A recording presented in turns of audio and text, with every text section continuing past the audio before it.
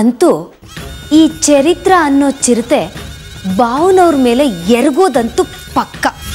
ಅಂತ್ಯಕಾಲಕ್ಕೆ ಎಷ್ಟು ತಪ್ಪುಗಳನ್ನು ಮಾಡಬೇಕೋ ಅಷ್ಟೆಲ್ಲ ತಪ್ಪುಗಳನ್ನು ಮಾಡ್ತಾ ಇದ್ದಾಳೆ. ಅವರಿಬ್ಬರ ಮಧ್ಯೆ ಘರ್ಷಣೆ ಆದಷ್ಟು ನನಗೆ ಲಾಭ.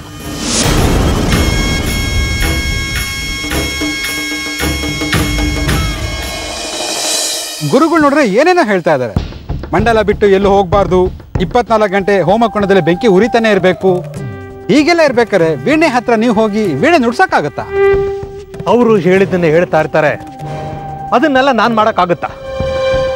ಮಹಾಮೃತ್ಯುಂಜಯ ಹೋಮ ಕೂತ್ಕೋಬೇಕು. ಕೂತ್ಕೋತೀನಿ. ಅದು ಭೂಗದ ಮೇಲೆ ಕೂತ್ಕೊಂಡ್ರು ಹೇಗೆ ಕೂತ್ಕೊಳ್ಳೋಕೆ ಸಾಧ್ಯ?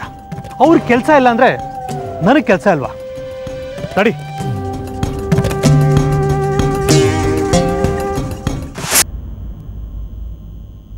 ಇವತ್ತಿನ ಹೋಮ ನಡೆಯೋದಿಲ್ಲ. ನಡೆಯೋದಕ್ಕೆ ನಾನು ಬಿಡೋದು ಇಲ್ಲ.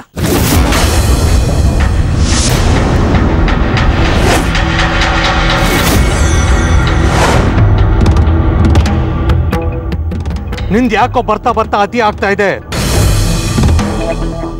ನೀನು ಕೇಳಿದ ಪ್ರಕಾರ ಮಯೂರನ್ನ ನೀನು ಕೊಟ್ಟು ಮದುವೆ ಮಾಡ್ತೀನಿ ಅಂತ ಹೇಳಿದ್ದೀನಿ. ದಿನಾನು ಗುತ್ತು ಮಾಡಿದ್ದೀನಿ. ಪದೇ ಪದೇ ನನಗೆ ಯಾಕೆ ತೊಂದರೆ ಕೊಡ್ತಾ ಇದೆಯಾ? ನಾನು ತೊಂದರೆ ಕೊಡ್ತಿದ್ದೀನ?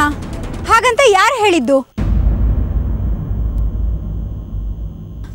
ನನ್ನ ಅನುಮಾನಗಳಿಗೆ ಸ್ಪಷ್ಟನೆ ಕಂಡ್ಕೊಳ್ಳೋ ಪ್ರಯತ್ನ ಮಾಡ್ತಿದ್ದೀನಿ ಅಷ್ಟೇ. ಈಗ ಮಹಾಮೃತ್ಯುಂಜಯ ಹೋಮ ಮಾಡಿಸೋದು ಯಾಕೆ? ಪ್ರಾಣ ರಕ್ಷಣೆಗೋಸ್ಕರ. ಈಗ ನೀವು ಮಾಡಿಸ್ತಿರೋದು ಅದಕ್ಕೆ ತಾನೆ? ಇಷ್ಟಕ್ಕೂ ನಿಮ್ಮ ಪ್ರಾಣ ಭಯಕ್ಕೆ ಕಾರಣ ಯಾರು?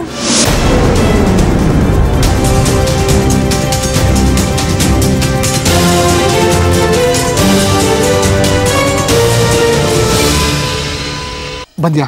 ಬಾ. ಬೇಗ ಕುಟೀರಕ್ಕೆ ಹೋಗೋಣ. ಕುಟೀರಕ್ಕ ನಾನು ಬರಲ್ಲ. ಏನಾಗಿದೆ ಭಕ್ತಿ ನಿನ್ಗೆ?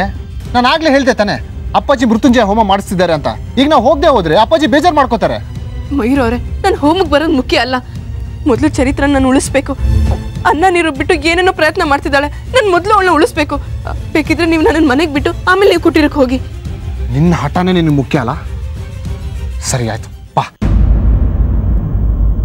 ಈಗ ನಿನಗೇನ್ ಬೇಕು? ನನ್ನ ಪ್ರಶ್ನೆಗೆ ಉತ್ತರ. ಆಗ್ಲೇ ಉತ್ತರ ಕೊಟ್ಟಾಗಿದೆಯಲ್ಲ? ಅದು ಉತ್ತರ ಅಲ್ಲ.